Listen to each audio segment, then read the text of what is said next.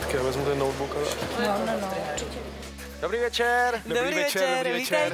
Dobrý večer. Dobrý večer, dobrý večer. Vidíme se poprvé? Po druhé. Ano, ano, Před rokem jsme se ano, viděli. Ano, ano. Tu poezii jsem dělal, slepé umělé tri- oplodnění. Ano. Eh, Jmenuji se Marcel Šebek, nicméně vystupuji pod uměleckým pseudonymem Marcel Štáhlavský. Přijel jsem z Prahy, přišel jsem po druhé a opět to vnímám jako výzvu, protože opět přicházím s něčím nevyzkoušeným. Bude to kombinace slovního nebo básnického projevu a vizuálního obrazu. Eh, Je to experiment a člověk neví, jak to vlastně dopadne. Dobrý večer. Dobrý večer. Dobrý večer. My sme sa oholili, že? Áno. Bouchli doma dveře. Vy ste mali Mal Poéziu, bradu a alebo- poéziu. Áno, poéziu však. Přesně tak. Antikoncepční pilulka. Áno. Áno, ale vážne. Máme dobrú pamäť.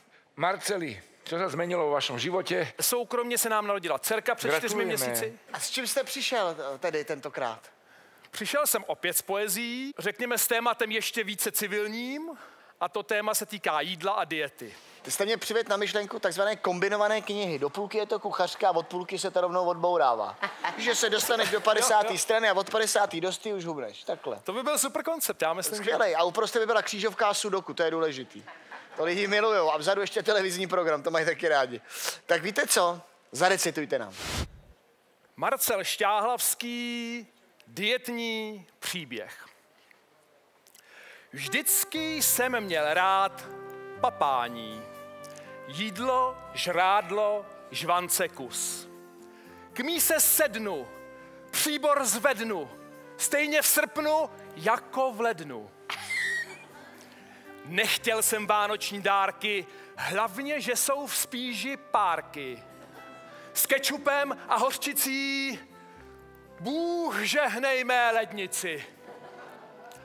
Potom doktor řekl mi, kluku, si jak díže plná tuku.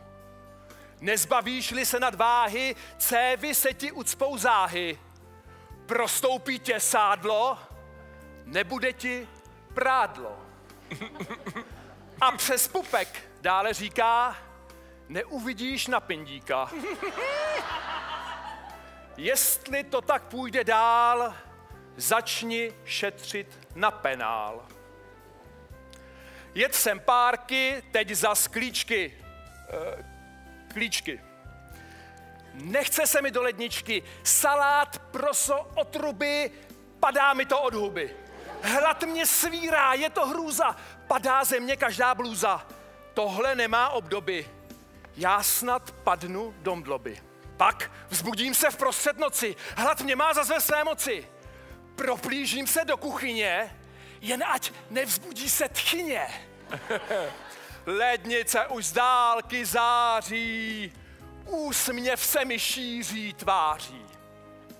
Miluji ten pocit slastný, když mám obě ruce mastný. Pochválen buď, plný břichu, medituji v nočním tichu. Poslouchám si potají, jak mi šťávy bublají. Radši zhynu, tlustý, mladý, nežli sto let trpět hlady.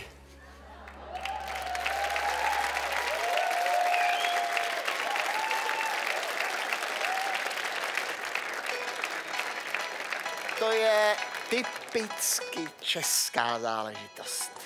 To je prostě novotvar. Tohle se v Čechách bude líbit. No to určite. No.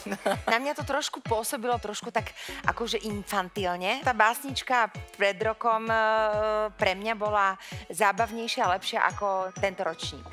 Marceli, určitě tam snaha byla, já se dnes tak nebavila. OK, ideme hlasovať za aktuálny výkon. Já se Martička, bavil velice, však mám nové střevice. Ano, Tentokrát nie. u mňa je to nie. Mně to taky ne. Nepostupujete dnes. tak bohužel děkujeme. Majte. Marceli, narobíme? No, co se dá dělat? oni vás chtějí vyhecovat, abyste přišel ještě No, příští jo, rok. jo. Takže my se na vás budeme příští rok Díky. těšit. Do života. Naschledanou.